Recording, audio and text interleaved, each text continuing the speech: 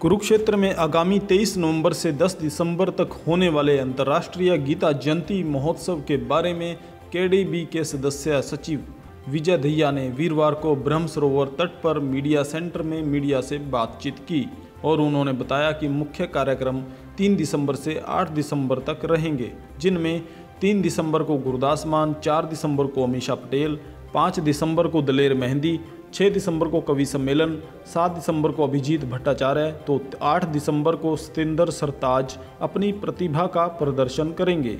चलिए आगे आपको दिखाते हैं। गीता जयंती के प्रबंधन में मुख्य रोल अदा करने वाले सभी सदस्यों ने क्या कहा?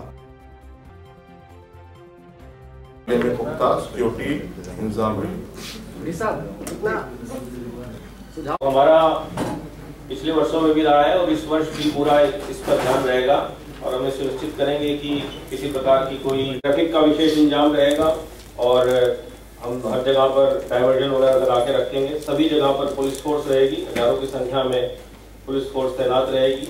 वीआईपी मूवमेंट मेले के दौरान काफ़ी रहेगी। तो दोनों चीज़ों का ख्याल रखा जाएगा कि एक तरफ़ जो स्टॉल्स हैं, वो एनजेडसीसी को दिए गए हैं।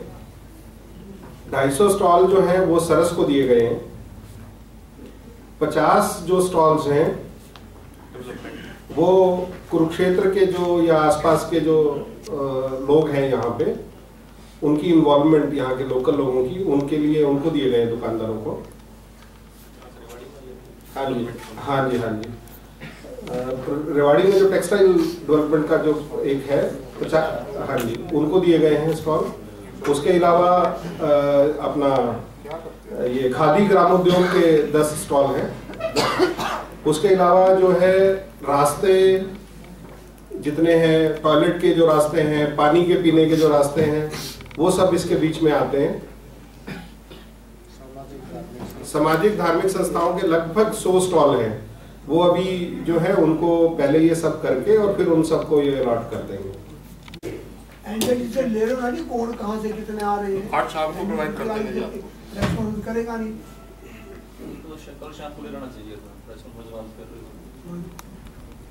माननीय मुख्य सचिव श्रीमती केशनी आनंद अरोड़ा तेईस को मेले का शुभारंभ करेंगे। शाम को चार बजे। भैया जी अंतर्राष्ट्रीय उत्सव अंतर्राष्ट्रीय उत्सव के लिए शहर तो तैयारी है पिछली बार भी तैयार था इस बार भी तैयार है। मैं इस बार की पूछ रहा हूँ इस बार सड़क तैयार नहीं है हमारी। आज भी अखबारों में फ़ोटो ऐसी ऐसी आ रही है कि कई जगह पे गाड़ियाँ फंसी हुई हैं। नहीं, कि कि एक व्यापक प्रश्न है मेरा कहने का मतलब ना यदि कोई किसी में कोई विशेष कहीं पर कोई दिक्कत है तो एक वो तो एक बात है। दूर तक है यहाँ पर पिपली से लेके शहर का मतलब ये सराउंडिंग एरिया ब्रह्म सरोवर नहीं उसके बाद भी शहर है। उस टोटल शहर की विशेष हो तो पिछले दिनों भी ये हुआ था जहाँ तक साफ़ सफ़ाई की बात हो पूरी व्यवस्था हमने कर दी है साथ के साथ जहाँ तक रोड की बात है क्योंकि जो कॉन्ट्रैक्टर था वो डिफ़ॉल्ट कर गया है तो उसका जो टेंडर को कैंसिल करने के लिए प्रोसेस हमने कर दिया स्टार्ट ऑलरेडी और टेंडर कैंसिल करके दोबारा से भी टेंडर होगा इसका और तब से इसका काम पार्टी काम की मुझे इस बारे इस बारे भैया जी 2014 में कार्रवाई नहीं हुई है जबकि हाई कोर्ट के ऑर्डर है और हमारे यहाँ उसके बाद। चौथा ये अंतर्राष्ट्रीय उत्सव हो रहा है और आपका जो मेन एंट्री है ब्रह्मसरोवर की ओर से कॉर्नर जो जहाँ से एंट्री करते हैं, वहीं पर सबसे पहला कब्जा है। और मैं केडीपी को भी कई बार बता चुका हूँ कि वहाँ पर आप ये देखिए, कम से कम आप सड़क बनवा रहे हैं, वहाँ पर उसने क्या किया कि टैंकी बना दी, उसके बाद अपना अपना सामान एंट्री पे ही कब्जा है वहाँ। और ये हालात और ये कमाल की बात यह है कि हाई कोर्ट के चीफ जस्टिस पर टिप्पणी कर रहे हैं, जिला प्रशासन और पाँच साल हो गए, यहाँ पर अभी तक इस पर कोई कार्रवाई नहीं हुई। और वो टिप्पणी जिला प्रशासन केडीपी पे सीधी थी। जो ऐसा होता है कि जो कब्जा हटाने का जो प्रोसेस होता है ना उसमें अलग अलग कोर्ट्स टिप्पणी कर सकती हैं लेकिन उसका एक प्रोसेस होता है कब्जा हटाने का। We are doing our process जो जो इंक्रोचमेंट्स हैं हमने आइडेंटिफाई कर ली है। पीछे हमने एक मीटिंग ली थी। Will filing the case in the PP act और जो कॉम्पिटेंट कोर्ट से ऑर्डर लेके ही कब्जा हटाएँगे ऐसा नहीं है कि जेसीबी सुनिए मेरी बात। समझने की कोशिश कीजिए ऐसा नहीं होता कि जेसीबी लेके सीधा उसकी डिमार्केशन होती है। कितना लंबा कितना चौड़ा है। इस पे मैं समीक्षा करूँगा। मैं इस पे समीक्षा करूँगा आपका ये जो प्रश्न है।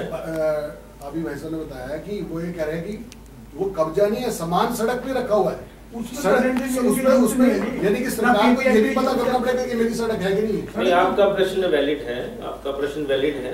और नहीं बिल्कुल कब्जा कहीं पर कोई भी यदि कब्जा गैर कानूनी रूप से हुआ हुआ है तो हम इसको बिल्कुल अलाउ नहीं करेंगे। और इसकी मैं समीक्षा करूँगा। जी बिल्कुल। आज के उस उनकी जगह डीएसपी डीएसपी ट्रैफ़िक का चार्ज मेरे पास ही है डिस्ट्रिक्ट में। भारत भूषण डीएसपी एक्चुअली हमारा जो ट्रैफ़िक का जितना भी हमने, जैसे पिछले साल जो प्रॉब्लम रही है, वो मीटिंग लेकर हमने सारे ट्रैफ़िक के, जवानों को, हमने पूरा प्लान बना लिया है। और ट्रैफ़िक के जितने वीआईपी रूट हैं और पब्लिक के जहाँ से जाएँगे, और शहर के अंदर जो हैवी ट्रैफ़िक है, उनके नाके हमने स्टार्ट कर दिए हैं शहर के अंदर। हैवी ट्रैफ़िक को शहर के बिल्कुल अलाउड नहीं है। और हमने पूरा प्लान बना लिया है कि किसी भी प्रकार की वीआईपी ड्यूटी में या जनरल आम जनता में किसी प्रकार की कोई दिक्कत नहीं आएगी। एक्चुअली हमने, हमारी जो सिक्योरिटी है पुलिस डिपार्टमेंट की एसेज है, और इस प्रकार के जो संदिग्ध व्यक्ति हमारे को पुलिस को हमने सिविल स्टाफ लगाया हुआ है, बाहर से भी आया हुआ है, हमारा डिस्ट्रिक्ट का भी है। सिविल स्टाफ की ऐसे व्यक्तियों पर विशेष नज़र रहेगी और जितने हमारे शहर के अंदर होटल हैं, उनको भी हमने अभी से उनको भी पूरी निगरानी रख दिया उनके रिकॉर्ड जो भी होटल के अंदर ठहर रहे हैं, उनका डेली हम चेकअप कर रहे हैं। और ऐसे संदिग्ध व्यक्ति के ऊपर हमारी जो सिक्योरिटी है सिविल डिपार्टमेंट्स में है कर्मचारी अधिकारी रहेंगे।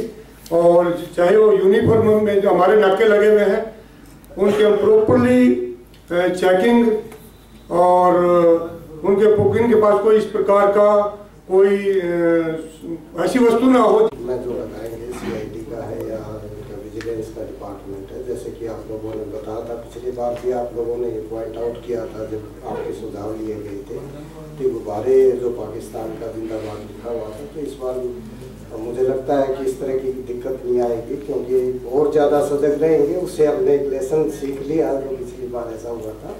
तो प्रयास रहेगा कि फिर भी और जहाँ तक बात है कि कोई भी एंटी सोशल कोई भी व्यक्ति मिलता है तो तुरंत नहीं सर ये बात कन्फर्म है ट्रैफ़िक व्यवस्था तो कुरुक्षेत्र में ज़ीरो है।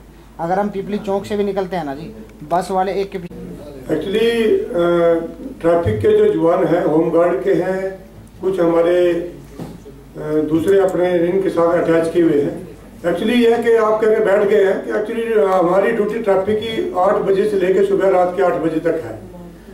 मैं तो पॉसिबल चाहे मैं उस पॉइंट पर खड़ा हूँ, अगर एक पॉइंट पर एक जवान है, अगर वो बीच में आधा घंटे के लिए वो चाय पिएगा या दस मिनट के लिए रेस्ट करेगा, उस दौरान आपका मीडिया का पर्सन उसका फ़ोटो लेगा और वो प्रकाशित हो जाए मैं तो कहूँगा अगर दस मिनट तो अगर वो बैठ गया है या जाम लगा हुआ मरीज़ फंसा हुआ एंबुलेंस फंसी हुई है उसमें। ऐसी नहीं बनता चलो इसके लिए भी अगर ऐसी कोई बात हो रही है पिपली से साढ़े आठ बजे मैं गुड़िया को छोड़ने जाता हूँ। साढ़े आप आठ से आठ कह रहे हो साढ़े आठ बजे आप पिपली चौक पे आके देखो।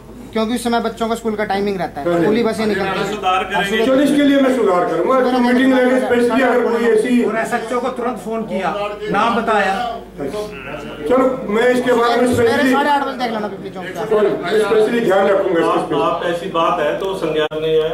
उसके बारे में आप बता दीजिए।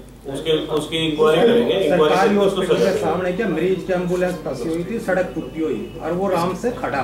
है वीडियो है। इसके अलावा उसके एक्शन लूँगा उसको बुला के मैं उसके खिलाफ एक्शन लूँगा अर्थ प्रकाश के लिए कुरुक्षेत्र से कुलतार सिंह की रिपोर्ट। ताज़ा अपडेट्स के लिए अर्थ प्रकाश टीवी को सब्सक्राइब करें और बेल आइकन को प्रेस करें।